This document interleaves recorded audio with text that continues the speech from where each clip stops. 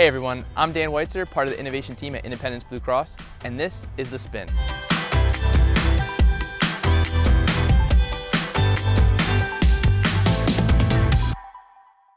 The Spin is a series where I ride bikes and talk to some of the most innovative people in the Philadelphia region. Today's guest is Chris Molaro from NeuroFlow. NeuroFlow is doing some amazing things around integrating technology and mental health. So let's go meet him and go for a ride.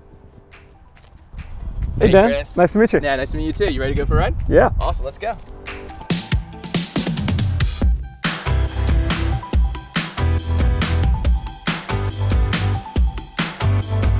So congratulations on all the success that NeuroFlow has had. Thanks. I literally was talking to Allison Garber from Venture for America recently, Yeah. and she called NeuroFlow the darlings of Philadelphia startups, Wow. which was awesome.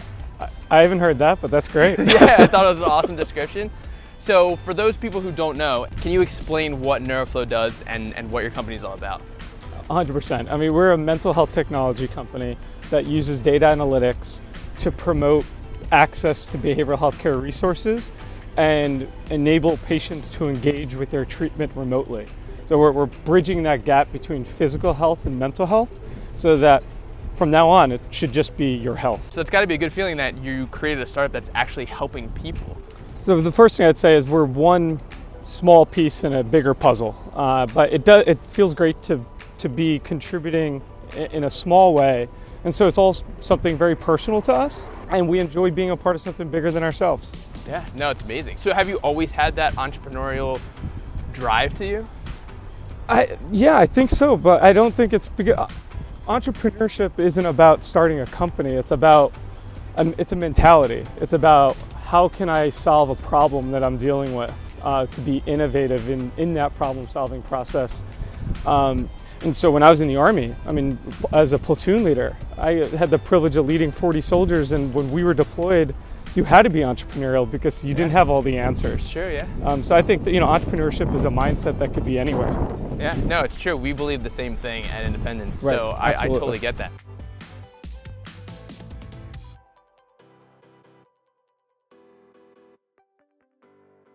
So your platform uses technology to help people with mental health. How do you see technology moving forward um, and, and helping people's mental states in the future? I'm really excited where technology is going to play a role in not just mental health, but healthcare in general. But to be clear, I don't foresee a future, at least in the near term, where technology replaces humans. I mean, the, the human touch, the human element, being able to look someone in the eye and talk to them about uh, different strategies on struggling with why I'm anxious this week, or you know, I'm I have a you know a final exam coming up in a few weeks, and I I, I'm losing sleep over it. And so being able to talk to someone about those strategies and have that relationship is impossible to replace with technology. And so from, from us, from our technology platform, we're bridging that gap and we're using a lot of data, artificial intelligence to make available um, more precise insights so that patients can know when they need to get the care and then so providers can know when to intervene before things get really bad. Yeah, I love that. I feel like different technologies are coming together now. Yeah. And I was doing a talk uh, last year, and someone said that telemedicine wasn't innovative, and I disagreed with them. I said, no, I think telemed is innovative. And they're like, well, Skype's been around forever. I said, Right. oh no, Skype has been around forever. Right. But the two were never married together, where you can Right. talk to your doctor at your home. So it is Absolutely. innovative. So I. I love that this technology is kind of morphing in a way to help uh, medicine rather than to um, kind of like separate. Like, no, we, we're going to do it the way we've always done it. So it's great to see the two come together. And so you hit on a good point. So the, the telemedicine not being innovative, I think what innovation really is is it's a gradual improvement and build on technologies and processes that have been, uh, you know, have been created in the past. So innovation isn't about creating the next rocket that goes to Mars. That's innovative, right? But innovation really is the gradual steps that get us there. What gets exciting to me is, um, you know, in the startup world, we don't have the resources or time to invest in creating this groundbreaking technology right off the bat and launching with that.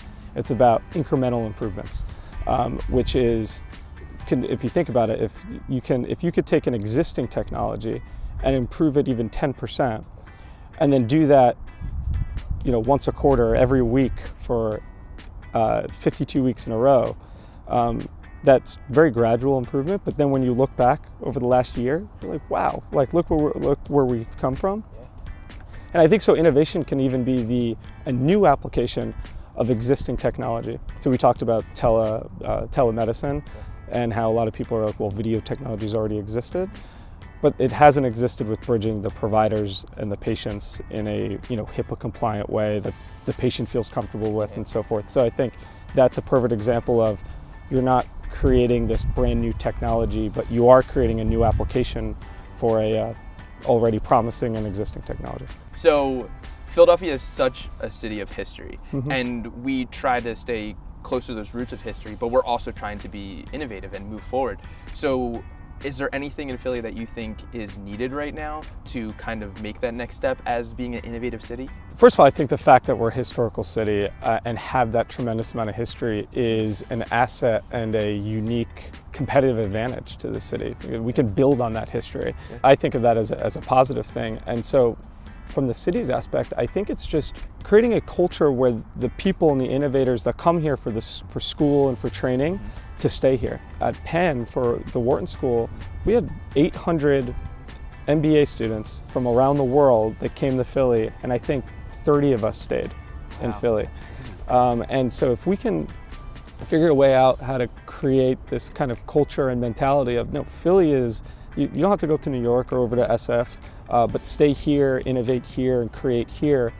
Um, that I think will will cause us to see huge strides forward. Um, I mean, it was a very deliberate decision to keep the company here, and we we haven't looked back. I mean, it's been an amazing amazing place to, to start a company. Um, and you know what? If we have to go to DC or New York, um, it's an easy train right away. So it's it's a great city with great access. Um, Uh, I just let's keep the people here and the talent here. Yeah, I mean we have so many amazing universities. Hundred percent. And yeah. I agree. We need to try to keep those people here. There shouldn't be only 30 from an 800 you know person That's class staying 100%. here in Philly. Right. It's, it's amazing. Well, thank you for being on the spin. We really appreciate it. Of course. Thank you for having me. Neuroflow is doing amazing things. It's incredible, and I can't wait to see where you guys go in the future. Thanks. So thank you for watching this episode of the Spin, and make sure to check back next month for another Philly innovator. Thanks for watching.